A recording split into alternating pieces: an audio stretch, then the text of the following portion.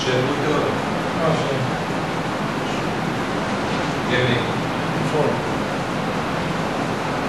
Give me. Four.